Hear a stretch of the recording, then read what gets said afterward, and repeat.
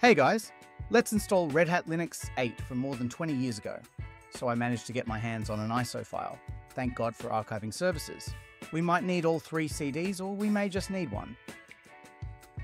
So back in 2002, this version caused a few waves. Some people didn't like the more corporate, almost Windows, like direction Red Hat was heading in. The UI was a big step up from other distros of its time though.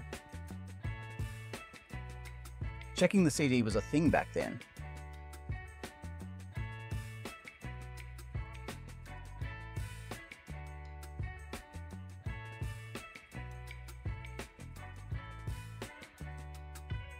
Wow, this brings back memories. So these icons and graphics that you see here were a big step up. Red Hat were the first to apply a consistent theme to both GNOME and KDE, so much so that you could barely tell them apart. A lot of people in the Linux community were not big fans of this at the time.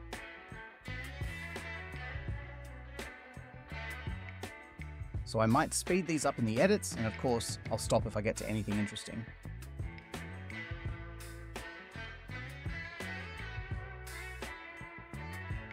So this is old school. We have support for a PS2 mouse, as well as a serial one. These were way, way before USB mice, and especially before wireless mice. Also, a scroll wheel on a mouse was not that common. I remember being super impressed when I upgraded from 2 button to 3 button. Now here's the fun bit. Distros don't even give you much options these days, you just need to pick a flavour like KDE, GNOME, or XFCE when you had to install via CDs, however you got this option for custom. And it was basically this massive list of packages you could spend all weekend customizing. Fun times.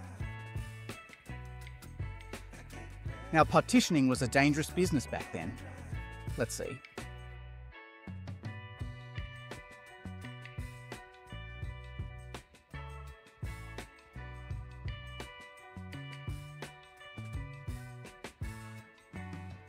In the 2000s, the version was ext3, and we even have ext2 here. You almost always had to have a swap partition as well.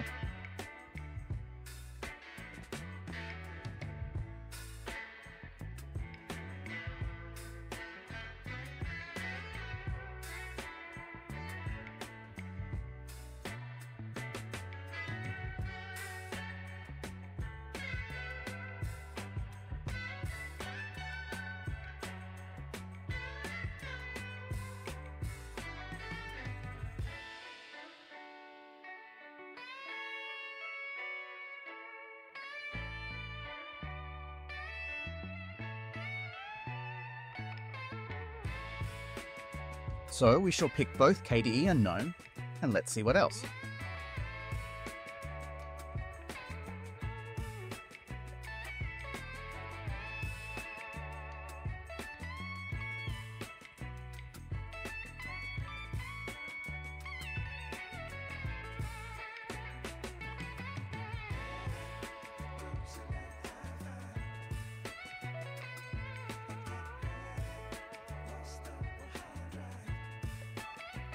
There's so many packages here, of course we shall pick games and start the actual install.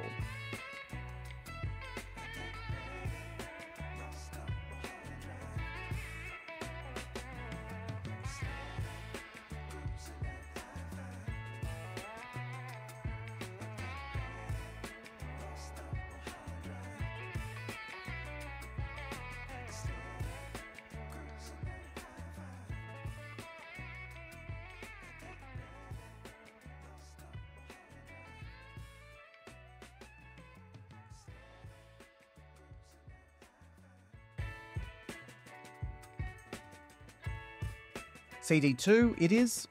Let me see if I can work out how to do this. Okay, so we are back. The rest of it got installed. Now we are on the first run screen. It will probably ask me for a few more things before we can access the system.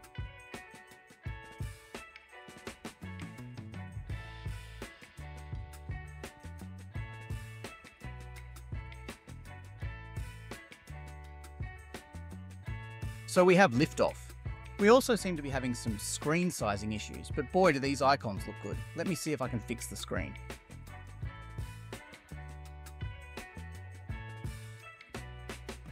Okay, restarting the VM seemed to have fixed the sizing, and we are logged into GNOME. This menu and these icons look so good. There was obviously some inspiration taken from Windows. The general look of the Start menu, or the Red Hat menu, I think it was put in place to make Windows users feel at home.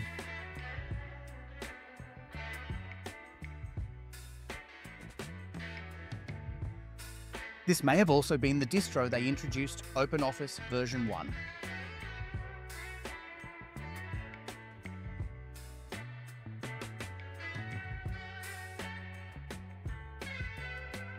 Let's look through some of these themes. There's even one called Redmond, which is where I think Microsoft HQ is or was. Yeah, I distinctly remember, with UI, being able to change both the inner chrome and the outer window dressing. But I don't think that's a thing now.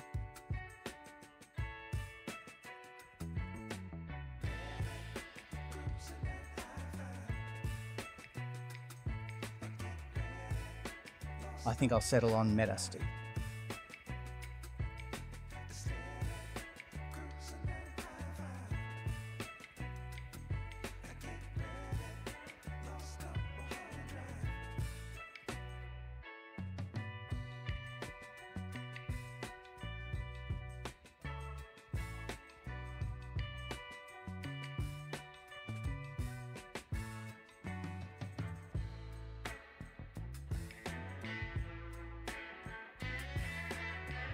Wow, and we have KPPP, or KDE's point to point protocol, otherwise known as your modem dialer. It's wild to think that you actually needed to connect to the internet when you needed to go online. It wasn't just always on. So before we move on to check out KDE, let's have a quick look at the control center. This looks so much like the control panel on Windows 98,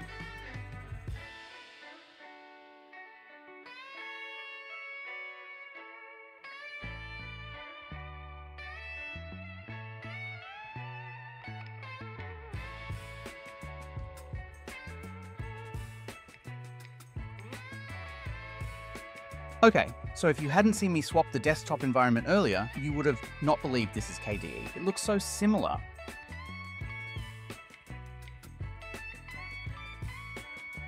You can sort of tell, with apps like Konqueror, it looks very KDE-like, but really it's such a well-made, consistent theme.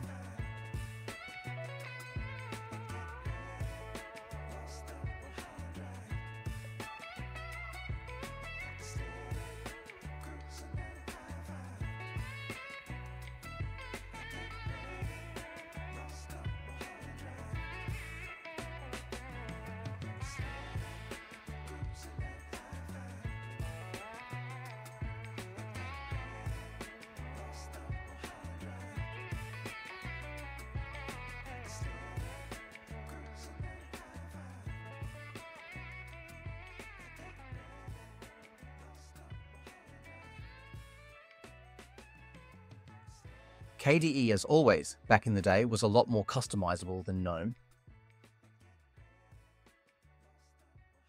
Okay guys, that's as good a place as any to end this. Let me know in the comments what Linux distro you were rocking back in the day.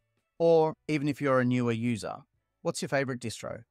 You a GNOME kid or a KDE kid? Anyway, until next time,